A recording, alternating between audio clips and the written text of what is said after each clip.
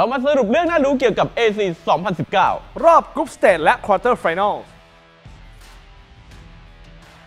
AIC 2019 ครั้งนี้พิเศษกว่าครั้งไหนๆ เพราะมีการแข่งขันแบบ1วิ1และที่สำคัญครับ แชมป์แรกนะครับ เป็นตัวแทนจากประเทศไทย นั่นคือนุนุจากบุรีรัมย์ยูไนเต็ดครับ หรือจะเป็นการแอบเขาน์ดาวน์ในรอบของ quarter final สู่รอบของ semi final คู่แรกเป็นการพบกันของ HTVC IGP Gaming ปะทะกับ a n s o Staff Gaming จบไปด้วยสกอร์ 4 ต่อ 3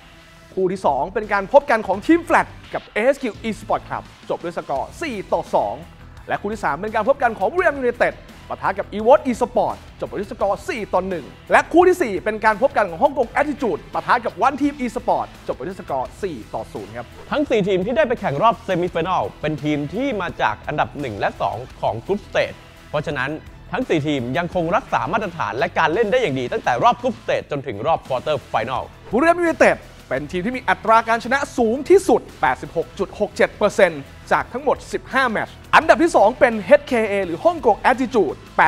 85.71%จาก 14 แมตช์ และอันดับที่ 3 เป็นทีม Flat 75%จาก 16 แมตช์ บุรีรัมย์ยูไนเต็ดราชาแห่ง KDA ติดท็อป 10 KDA เกือบยกทีม อันดับ 1 ได้แก่นูนุ 7.75 อันดับ 2 โอฟาย7.50 อันดับ 3 อิสรินดิว 7.42 อันดับ 6 d e f o x N 6.67 อันดับ 7 First One 6.63 และ First One ครองตำแหน่งเจ้าสัวอันดับที่ 1 ในเรื่องของ Go per minute ต่อเกมทำค่าเฉลี่ยไปได้สูงถึง 767.20 โกต่อเกม ยินดีต้อนรับเข้าสู่ฮีโร่ที่ถูกเลือกเยอะที่สุดได้แก่ อันดับ 1ไฮยาเตะ อันดับ 2 ยีน่า อันดับ 3 โอเมน และยินดีต้อนรับเข้าสู่ฮีโร่ที่ถูกแบนเยอะที่สุด อันดับ1ซิปอันดับ 2 ฟอร์เรนติโน อันดับ 3 ดาซี่